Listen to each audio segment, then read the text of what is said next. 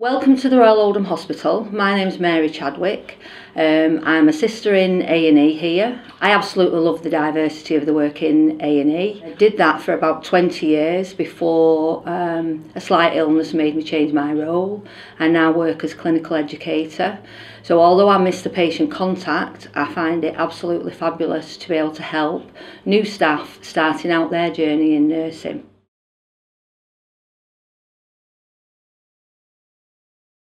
I think my favourite things is being part of a team, actually feeling part of a team, um, and being able to be part of a multidisciplinary team. So you're involved with lots of people, um, not you know on a daily basis. You, you don't know who you might come across.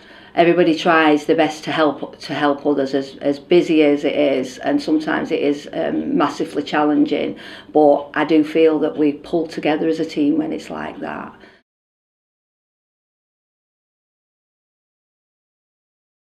feel quite satisfied. I feel satisfied in, in my role. I feel um, that I've achieved something. I feel I make a difference.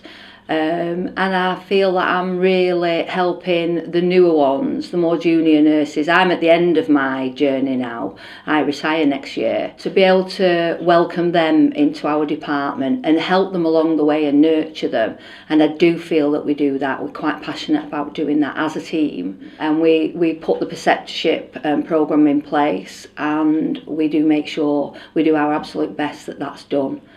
We would absolutely love you to come and work with us. Apply online at NHS Jobs.